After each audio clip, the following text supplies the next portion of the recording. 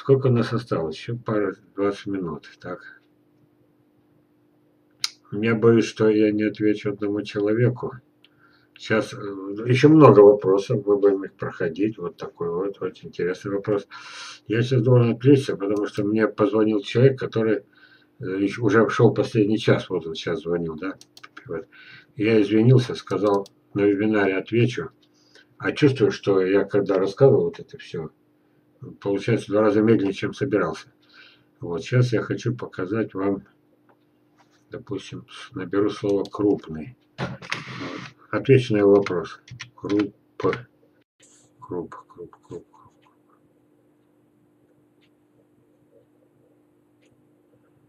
А, фото крупных абрикосов. Смотрите, вот теорию не будем, пропускаем. А, кстати, вам это придется читать. Вот у меня бесценные эти. Такого не найдете больше. Потому что это все Сибирь. Ладно, смотрим дальше. Быстренько смотрим. Я когда-то с них начинал. Вот эту фотографию, да, несколько таких людей.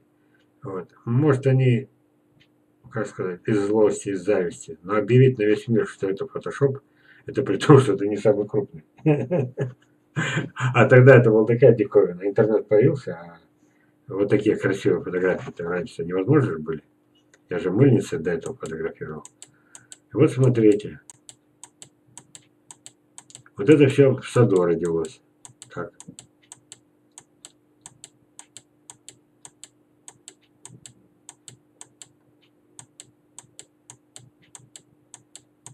В разные годы. Ну, в основном уже старые фотографии. Ой, долго листать. Ой, долго листать.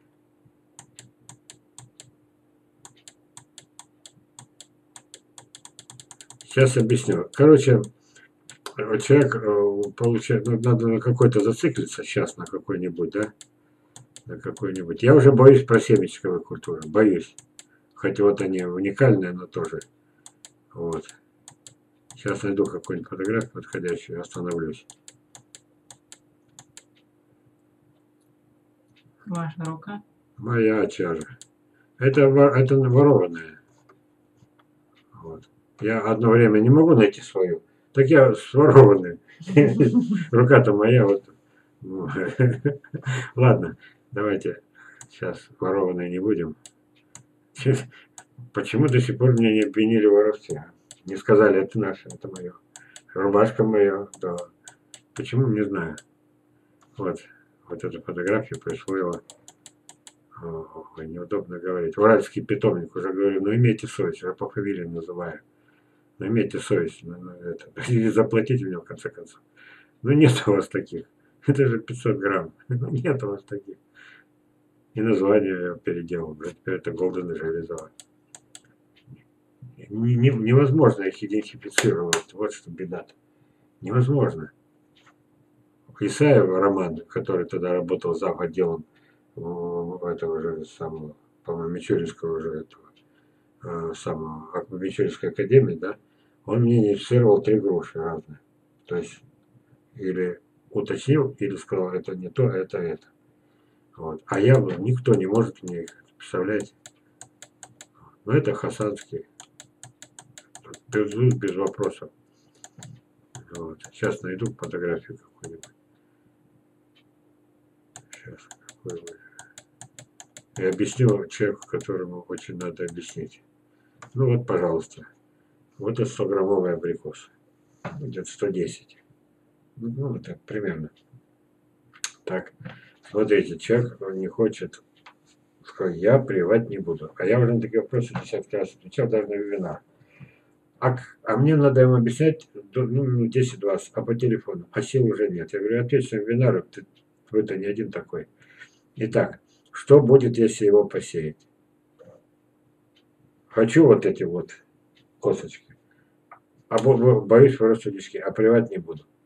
Вот. Я ему тогда это самое... И, да, и второй человек, который э, плевать собирается, но сомневается и правильно сомневается. Вот здесь, допустим, Расуд Маджунс. В рядочек, так. Они когда-то вырастут, они будут даже не как манжурец, манжуриться, а когда-то был кислый, мелкий-мелкий, желтый, несъедобный. Сейчас даже он сам стал культурнее. Влияние соседей, то, чего не может быть никогда, ну, как-то почему-то он стал культурнее. Вот. А его потомки еще культурнее. А мы с вами угощаемся. А вот это уже, знаете, у меня в голове сидит. Сколько раз я вам показывал. Теперь, значит, они, их уже можно соки, компоты, варенье. И не все, а из 10 деревьев, одна-две, моя статистика, будут сладкие. А на тот момент директор Мягского института, вот, Александр Юрьевич Ваулин, сказал, что мои манжурцы у него все сладкие. Нормально? Вот. Значит, уже что-то есть. Теперь берем самые вот эти огромные, да. Вот. И я ему название придумал. Крупноплодный железо. Ну, придумал я. Сергей придумал. Он же продает. Правда, дорого. Но они того стоят. Нет, когда он их называет крупноплодный. Я маялся, маялся. Назвал. Набрался наглости. Ну, Ладно. Правильно. Вот. Можете правильно. Что с него вырастет? Смотрите. Фотографии приходили. Фаина в два раза мельче. Так.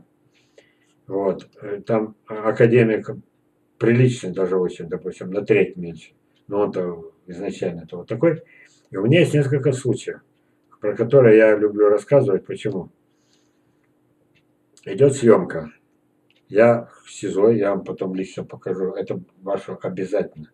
Это тоже из тех еще времен, когда я только начинал. И сейчас там здоровые, плодносящие абрикосы. Причем мой стандартный набор академик, так, Серафим, Амур, э, это самая лесная красавица. А женщину я как узнал? Под, под, подбирал ее, тут же пришлось машину развернуть и вернуться. Подбирал, ехала. Угу. СИЗО, я на СИЗО, а она в Саяногорск. Развернули, потому что она сказала, что мои лесная красавица вот такие вот. Когда я увидел, меня стал шок. А у меня-то вот такие. У меня с тех пор и много набрало. Что творится? Что за мир-то такой? А какое хренодичание? Я вижу, на ветке еще не спелые висят, ну, минимум 500 грамм. А потом у этого-то получились. У меня-то все равно 150. Из года в год. А перенесли ветки Чернобаева. Какие у него были? 300-350 грамм. Уже вот такие, да. И вот такие. Яблоки? Нет, груша, это а, лесная красавица. Угу. Ладно, возвращаемся к абрикосам. Значит, я говорю, а, а, а, а на тех еще висели, пробовали, я в съемке там кого-то пригласил, там это. И вот она говорит, а королевские, говорит, вот такие были. Я говорю, вот такие? Нет, вот такие. Я говорю, нет, наверное, такие. Нет, вот такие. А где я был? А я все эти годы, а, молодое дерево, ездил мимо. Вот. Что вы думаете? Это самое Э, на рынке женщина, ну пусть привитая, саженец мой вырос и у нее, и стал давать плоды. А она торгует этими же абрикосами, только с другого дерева. Э, а потом, а вы помните ваше этот самый? Я говорю, я не помню. А точно мою? Да, я вас купила. А какие были плоды? Она говорит, вот такие. Я говорю, ну стань на мяч. Я говорю, может такие? Нет, такие. Начинаю съезжать крыша окончательно. Потом, Елена Александровна, расскажите про этот случай с Королевским. В хуторе.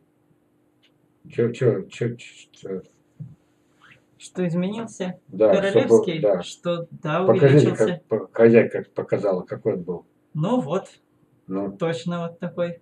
Так вот теперь, после всех этих э, рыбацких рассказов, знаете, вот, у меня в одном этом есть, э, я показывал, а Ребрик, наверное, помнит, там я, я нашел эту картину э, Цурикова или Репина, или там, значит, три охотника на привале. Угу. А, один сидит с такой хмылкой, мол, брать-то ты здоров. Второй вот так вот рассказывает, а третий вот так слушает. Ребята, поверьте, это не мой случай. Так вот, получается, человек говорит, а какой смысл выращивать культурные, а потом как бы уже более значительно, чем вот этот последний товарищ. Угу. Чем э, когда можно переносишь туда, на манжурце, а он два раза меньше был. Но я-то отвечаю, ребята, вы понимаете, вам же штуку это, покупать саженцы это дорого, а здесь-то шанс дается. И второй шанс заключается в том, что почему вот эти вот получается. Мне удавалось из сеянца вернуть качество культурных и укрупняться именно на прививках. Да, непредсказуемо. Да, Железов утверждает, что как две школы, да, одна принимает вегетативную гибридизацию, вот, а другая, вот так, женщина же как, у нее укрупнились, у нее листья, да, это факт, это да, вот. Другая отрицает, а у тех, кто принимает, они не знают, что, что вот эта дама в мою пользу работает, да, а они говорят, ну вот один случай, 18 или 19 век, вот посленный, вот все больше, и на этом все, все доказательства заканчиваются. Ну, ну доказательств полно, вот они, вот даже вот то, что я показываю, да. Но я-то говорю другое. Почему я не, предск... не предсказуемый? Я говорю, ребята, вегетативная гибридизация непредсказуема, раз. И второе, всегда существует одно дерево. Уже следующее поколение – Хоть ты ветку возьми, хоть ты косточку возьми. Это будет за ним. Или клон, или сортообразец. Все. Так, время осталось. Вот это вот важнейший момент. И что делать человеку? Подвоим сверхморозостойки, сами по себе. А я еще как говорю, рядом посадили вот эти же, вот как она. Фаину купила, академика, угу. да, ба, еще что-то. Да. Вот. Самая роскошь, да если они, я прав, они пропитались манжурцами, это уже вегетативный гибрид. Это гибрид, это, не, это ну, уже не то дерево, что у меня было в моем саду, это другое ну, дерево. Раз. Теперь, если она пропиталась всем этим, у него морозостойкость-то выше, ведь это с королевский-то уже...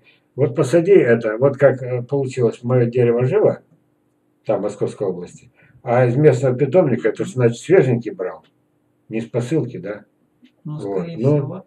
Все, он Оно могло просто несколько лет в прикопе просидеть. Оно могли продать полудохлое. Также. Но взять э, это, сейчас привезти саженец королевской из Франции, посадить здесь, что будет сказать? Скорее всего, замерзнет. Замерзнет без этого. Он, может, пережил бы вот эту одну зиму.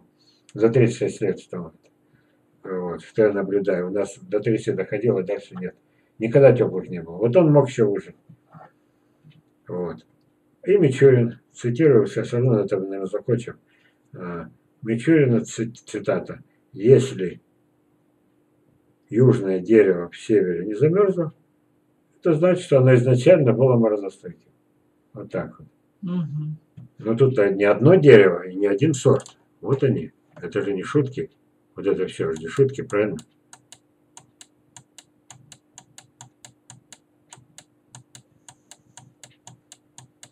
Уж какие тут шутки. И вот я надеюсь, что человек вот эти косточки посадит. Так, посадит, посадит, посадит. Вырастает однолетний саженец. Снизу остается вот столько. Тут 3, 4, 5 почек, 6. Это для того, чтобы оно продолжало развиваться вот так вот. А все, весь этот метр, допустим, метровый штамп, переходит на манжурцы в виде вот таких червяков. Три варианта. А, а там, куда перешли, они могут не прижиться. Часть, да. У меня это бывало 10 при, привешь, смотришь, один мертвый. Начинаешь искать причину. Он ничем не отличается. Ошибки нет, халтуры нет. Все одинаково. А он стоит мертвый, а эти вот такие вот залиты. Вот вам биологическая индивидуальная несовместимость. Тогда получается, которые не прижились, я говорю, оставляйте, пусть растет даже сам. Он уже инфицирован. Ну, да. Я проверял, увеличится два раза, как у, у, у нашей это, дамы. Листья два раза увеличится по сравнению с этим Ну, да. Это не шутки. Вот, инфицирован. Раз. Тот, который остался огрызок, почему я говорю только огрызок, а не верхнюю половину? Качество, качество часть, только не часть качественная, да? Значит, получается, вот это вот разовьется. Наоборот, он инфицирован манжурцами. Значит, ну, будем надеяться на замерзнет. А те, которые уже прижились, тут уж точно. если вместо 100 граммовых королевских или, допустим, этих академиков, или вот как этот крупноплодный железо, вот, или вот Филиппева, да, поздний, вот, получится в два раза меньше или полтора.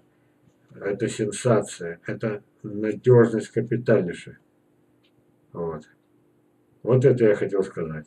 Вот такая у меня сегодня речь.